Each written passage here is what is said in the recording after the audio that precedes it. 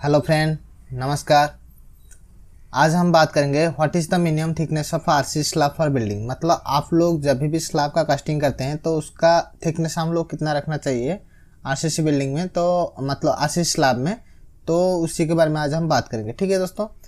तो पहले हम लोग का चार इंची का स्लैब का थिकनेस हम लोग रखते हैं, तभी अभी आई एस कोड मना कर रहा है कि वो चार इंची का हम लोग मिनिमम थिकनेस नहीं रखना चाहिए।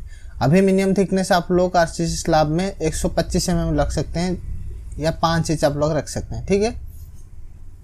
तो जो हमारा बिल्डिंग जनरली हम लोग जब भी घर बनाते हैं तो उसका थिकनेस आप लोग को पाँच इंच ही रखना चाहिए, ठीक है?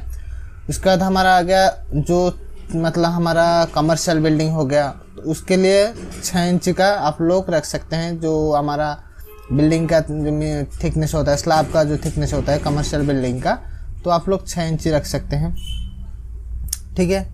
और जो हमारा आठ इंच का जो हमारा स्लाब का थिकनेस रहेगा, जहाँ पे आप लोग का मशीन वगैरह वहाँ पे चला होता है, जहाँ पे वाइब्रेशन ज़्यादा आता है तो वहाँ पे मशीन चलाने का जो वाइब्रेशन आता है तो उसी हिसाब से आप लोग क्या कर सकते हैं, आप लोग का आठ इंची का स्लाब का थिकनेस रख सकते हैं। ठीक है? काफ़ी सारा जगह में मैंने देखा हूँ कि वहाँ पे क्या कर, करते हैं कि चार इंची का स्लाब जो हमारे जनरली बिल्डिंग में चार इंची का थिकनेस रख देते हैं। उसमें क्या है कि अब लोग मतलब एक इंच मतलब उसका खर्चा ज़्यादा ना होने की वजह से उन लोग क्या करते हैं स्लाब को स्लाब का थिकनेस कम कर देते हैं। बट वो आई एस कोड मना कर रहे हैं कि अभी जो अभी का टाइम में आप लोग जो स्लाब बनाएँगे उसका मिनिमम थिकनेस पाँच इंच होना चाहिए। ठीक है दोस्तों?